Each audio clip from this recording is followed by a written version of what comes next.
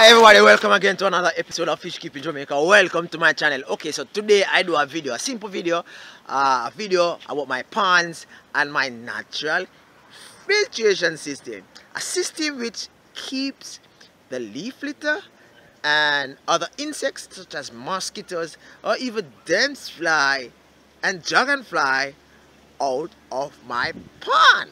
Now guess what that system is? It's a natural system.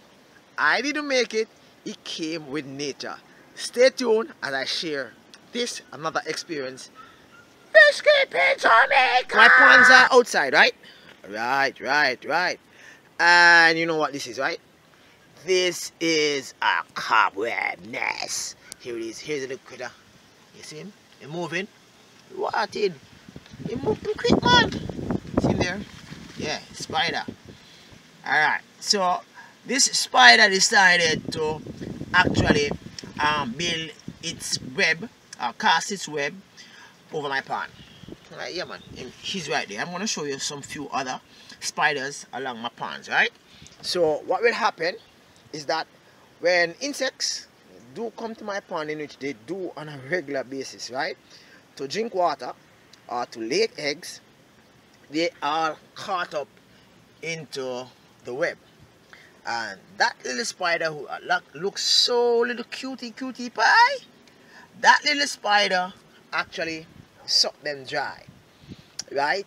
And to a great extent it's like a symbiotic relationship with my fish pond and the spider. I try my best not to actually disturb the web because I realize that it is something of benefit to my fish stock. Alright, let me show you another. Um, the, the spider will not, the spider will not, um, here's another, but the spider is absent. Alright, I, I, um, spiders will not build their nest over certain ponds because the fish itself will actually um, spew water out of its mouth yes? Spew water out of its mouth so as to get the spider to fall in the pond in which they will consume. Right? They are so smart fish right? All right cool. Now here are my convict cichlids right? And here is another here is another spider right? It's right there. Spider? Spider? Right? Yeah? Right? I don't know if it's venomous. I don't know if it, it will actually give me something but um ratings look right now I leave it alone because I'm not in the mood to drive to the hospital to get any special injection on my you know what right? All right um so that's it. Uh I just wanted to show you that. I know that some persons might say ah that's not no nothing special. But for me it is because you have a lot of insects that come to my pond to actually consume water. And sometimes these insects actually lay eggs. Wow. This one is huge right?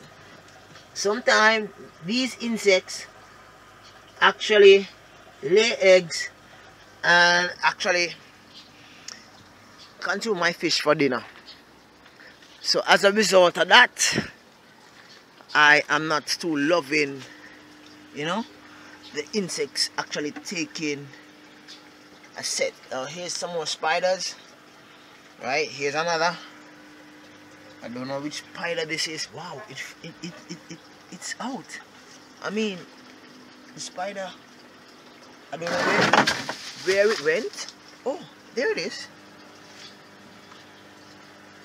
There it is. Alright so the spider cast the net over the pond. The fish swims below. And they're getting all frantic because they think that I'm to feed them. Right and they just wait on the insect to come by get trapped in the in, in the in the web and then they they themselves will actually go for dinner.